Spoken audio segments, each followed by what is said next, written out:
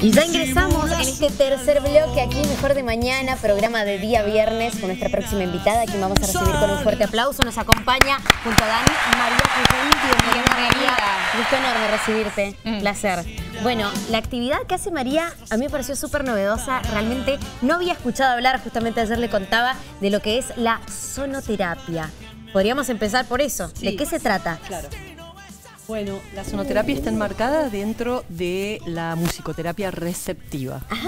Pero eh, en Argentina todavía no hay una, una ley que regule la sonoterapia. Ah, mira pero sí está eh, arreglada por ley en, dentro de la musicoterapia. Bien. Los que hacemos sonoterapia nos, formamos lamentablemente internacionalmente. Yo soy eh, eh, sonoterapeuta internacional. ¿Y por qué decís lamentablemente? Lamentablemente porque me gustaría que, esto haya estuviera... Un título nacional, quizás. claro, entonces yo abrí una escuela de sonoterapia hace casi 15 años, este que empecé así como más formalmente y abrí la Escuela de Cuidados Musicales eh, hace aproximadamente 10 años. ¿Y quiénes acuden, por ejemplo, a la ¿Quiénes sonoterapia? ¿Quiénes necesitan? Todas las personas que quieran pueden acudir a cuidados musicales.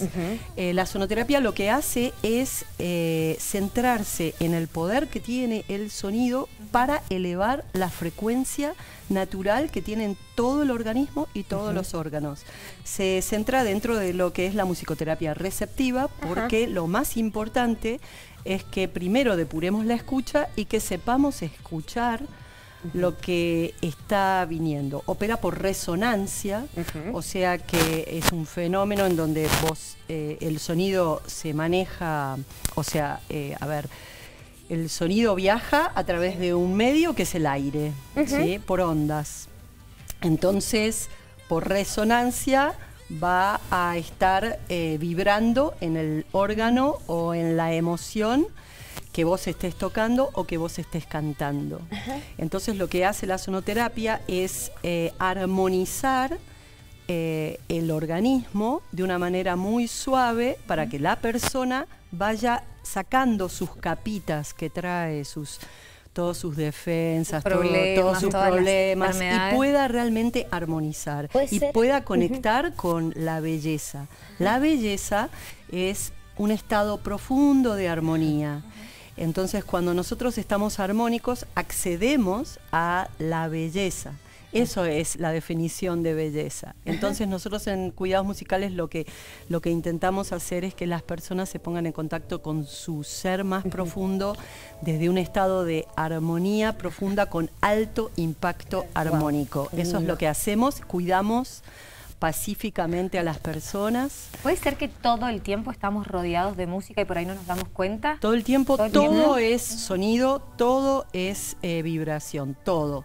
En este momento, la razón por la cual eh, yo estoy aquí, les quiero confesar, es porque yo, em, a, nosotros, no yo, perdón, eh, a nosotros desde Cuidados Musicales nos gustaría que la gente y el público en general entendiera que es muy necesario elevar la frecuencia con la cual nosotros estamos vibrando en este momento, porque al elevar la frecuencia nosotros nos permite estar en un estado de mayor percepción para poder percibir lo que es cierto de lo que no lo es. Eso es lo que produce la elevación de frecuencia. Mira, ahí en imágenes estamos viendo uno de los instrumentos que nos ha traído María, porque claro, en cada una de tus prácticas vos sos quizás la guía en ese momento donde trabajás con estos elementos. Quiero que me cuentes ahí, justo el que estamos viendo ahora. ¿Cómo se llama? ¿Cómo eh, funciona? Este, este, instrumento es un instrumento que viene de India, es muy sencillo. Es como la reducción del vina o armonio hindú. Tiene unas llavecitas, esto está, em, esto está en do, en, el tono do. Y se, le vas abriendo las llavecitas, por ejemplo, y abrís, es casi como una especie de, nota pedal, ¿sí? En vez de apretar una, nota eh, pedal sintética, vos lo haces orgánicamente. Como si fuese un acordeón. Como si fuese un acordeón. Pero em, eh, también el acordeón o cualquier instrumento se utiliza para poder sintonizar con la respiración y la respiración que se convierta en sonido y que eh, todas las personas empiecen a descargar eh, todo su, nerviosismo, sus preocupaciones, porque la función que tiene es que vos puedas descargar la mente en el sonido y que te conviertas en puro sonido. Es como decir permiso, este, eh, voy a correr los muebles y voy a sacar mi sonido sagrado. Para eso hace falta que te tranquilices y esto te tranquiliza inmediatamente. Eh, como el, sonido es primigenio, eh, funciona, te coloca, digamos. ¿Notas el cambio de las personas a la hora de hacer esta terapia? el cambio, me imagino, no sé, en, la energía, más tranquilos, más receptivos. Sí, porque lo, que hacemos en sonoterapia, bueno, quiero hablar un poquito de la formación, si me permiten. Este, eh, em, eh, nosotros, eh, los que hacemos sonoterapia, tomamos toda la sabiduría ancestral que proviene de todos los, este, pueblos étnicos de todo el mundo. la música hindú, la música árabe, la música mapuche, todo lo ancestral. Y todos los instrumentos, yo toco aproximadamente en mis terapias, que se hacen diferentes protocolos, aproximadamente 50 instrumentos. Es un montón. Eh, sí, hoy he traído, yo trabajo con cuencos, cuencos tibetanos, cuencos de cuarzo, con, toco el digi, toco flautas eh, varias. Este, y fundamentalmente con el canto. Hago yoga de voz. Entonces, ¿Y la gente que te sigue en tu clase también tiene que, cantar y demás? ¿o los que quieren cantan y los que quieren escuchan y los que quieren se relajan eh, toman, toman sesiones. O sea, hay muchas maneras de, interactuar con cuidados musicales. O tomás la formación que está disponible en la escuela eh, que, es una formación bastante corta, como te da una introducción a la sonoterapia y te permite conocer este mundo desde una certitud. Yo tengo una especialización con la musicoterapeuta número uno de India, que tuve la ventaja de, bueno, de conocer, que acabo de terminar. Y, bueno, y ella me legó eh, mucha información muy específica, porque el secreto y esto se lo quiero decir a muchos músicos que me encantaría que se acercaran a cuidados musicales, el secreto está en cómo utilizas eh, las notas y qué notas utilizas para cada emoción. No cantar cualquier cosa, ni porque toques un cuenco, o sea, los cuencos tienen, obedecen a, energías que hasta son planetarias. Cada sonido tiene un porqué. tiene un porqué, exactamente. Por ejemplo, ahora les puedo convidar eh, para ustedes en este momento que hay mucha agitación, les voy a cantar en una distancia que se llama, este, esta sería la distancia que hay que utilizar para bajar la agitación generalizada. Y lo que haría en una clase común lo voy a hacer de una manera muy rápida y no se debe hacer muy rápido porque esto exige claro, por supuesto, más, tiempo, Son otros tiempos los de la tele. Pero la, tele exige eso, ¿no? ¿Y nosotros tenemos que cerrar los ojos o, mirarte y escuchar? ¿Qué, hace la pueden hacer, lo que te pueden respirar. La respiración es muy importante. Entonces empieza a respirar.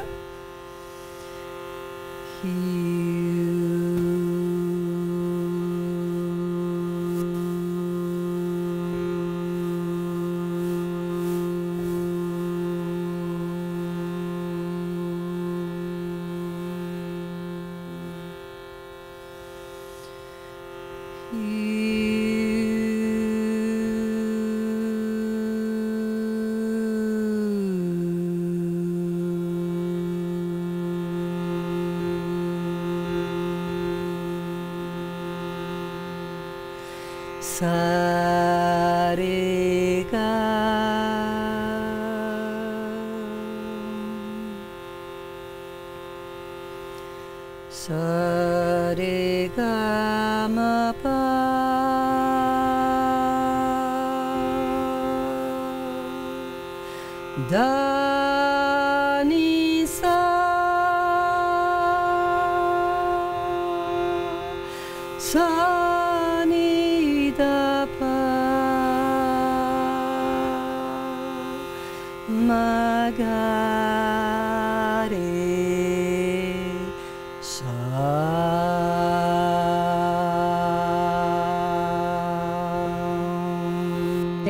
Hipnótico, ¿no? Ay, me quedé, me olvidé que estaba en el programa. Te juro. es que te transporta eh, realmente. sí. ¿Esto está en algún idioma en particular? Esto es la escala en sánscrito que Ah. viene desde 5 mil millones de años atrás. Ah. El sonido fue descubierto por los rishis y los vedas hace 5 mil millones de años, cuando la especie humana llegó a la Tierra.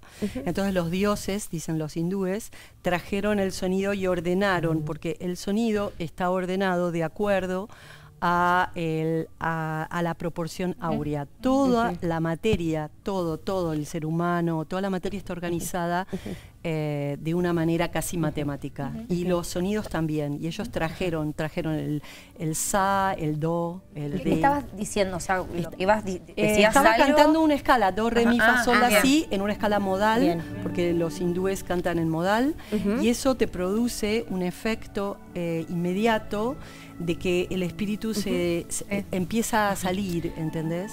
Entonces, como el ego que está en esta zona, en esta zona que es fuego, ¿sí? siempre quiere opinar, la mente está en esta parte.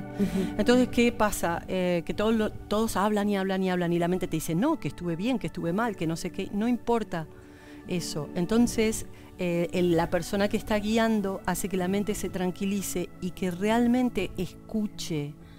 Y lo que nos está pasando en, en este momento es que no estamos escuchando nada, no nos estamos escuchando.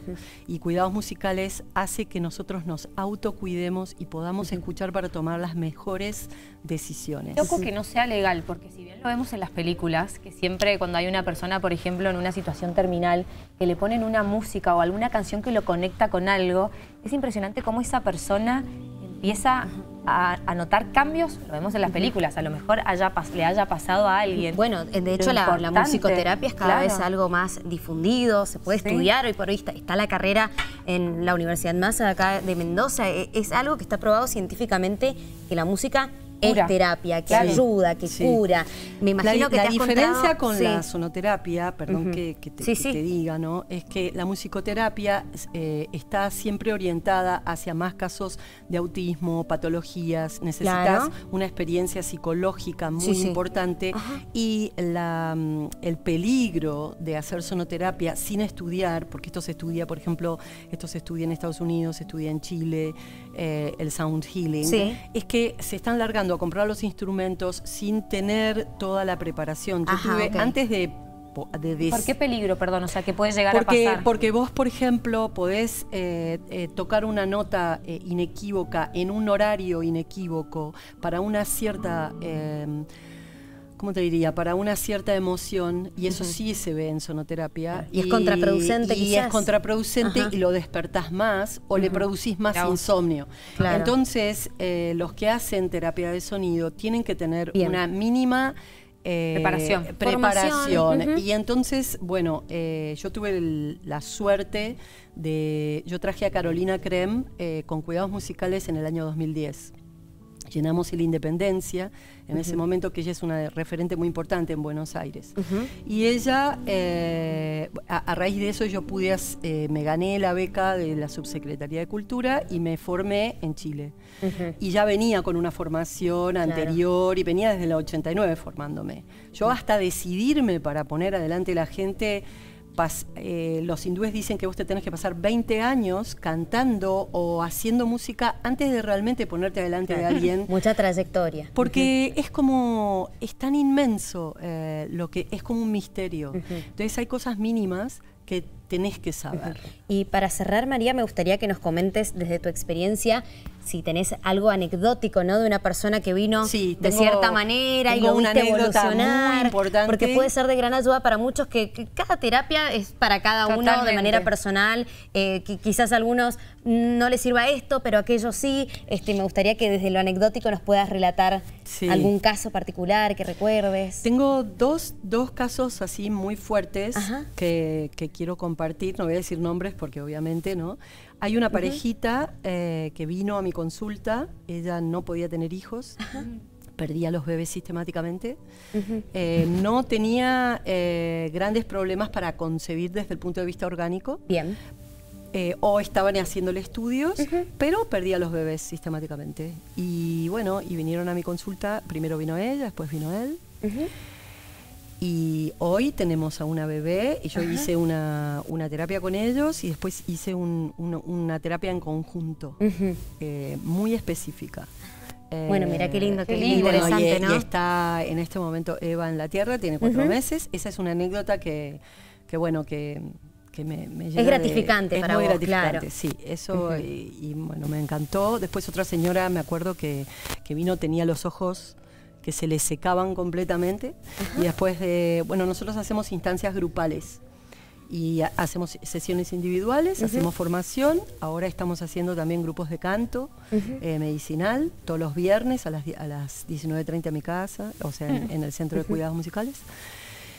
Y bueno, esta señora eh, tenía los ojos tremendamente secos y el médico le decía que se tenía que operar, bueno, no sé cuánta historia. Y bueno, y empezó a venir a los mandalas sonoros y, los cambió. no, y empezó a tener lagrimal y, se, y, empezó a, segregar más eh, lágrima del ojo. Eh, bueno, por un instrumento específico que se toca para que el riñón se active y para que el hígado también se active, que tiene que ver con los, con los ojos. por eso hay que saber.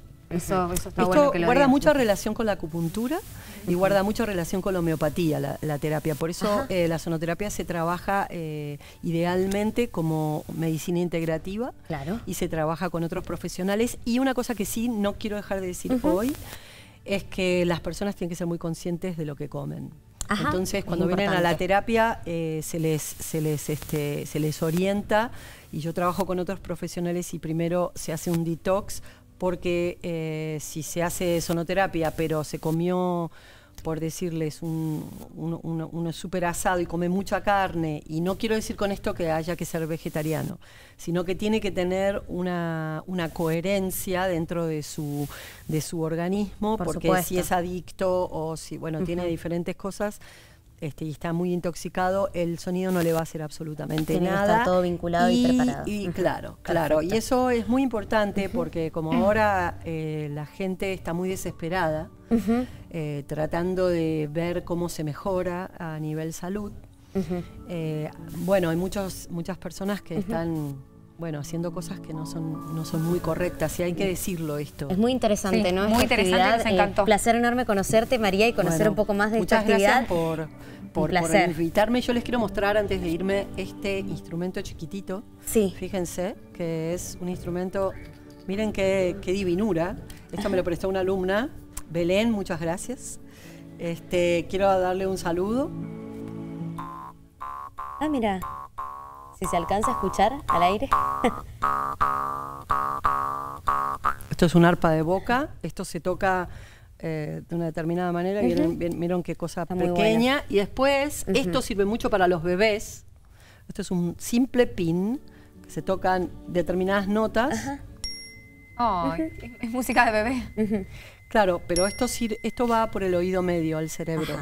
Y esto tiene un efecto terapéutico inmediato pero hay que mm, saber qué nota usar, para qué situación, esto equilibra. La función que tiene la sonoterapia eh, es equilibrar los dos, los dos hemisferios. Perfecto. Muy interesante, la verdad, quienes quieran conocer más, visitan la página de Cuidados Musicales Mendoza en Instagram para poder contactarse con María y adentrarse en este mundo tan bonito. Muchísimas gracias por... Un placer, ¿eh? Un gusto. Mira, ahí estás viendo la página en pantalla para que vayas y lo sigas. Bueno, muchas Compartimos esta hora mensaje de parte de McDonald's porque el próximo viernes 12 estás convocado. Mirá.